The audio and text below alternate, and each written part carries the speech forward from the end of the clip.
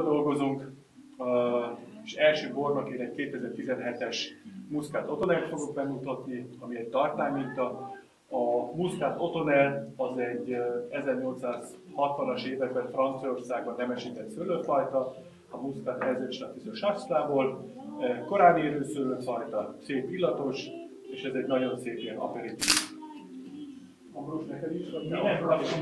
Akkor bocsánat, az lenne kérésem, hogy a, a szalvétákat, Szedjük ki. tudtok segíteni, Igen. vagy bocsánat, mindenki beszél magyarul, vagy angolul, németül is ismételjen?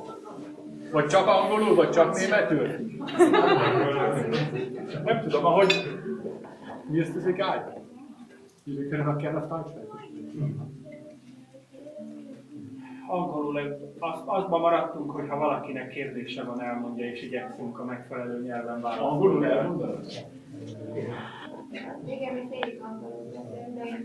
Végig? We, we can also continue in English, I have no problem.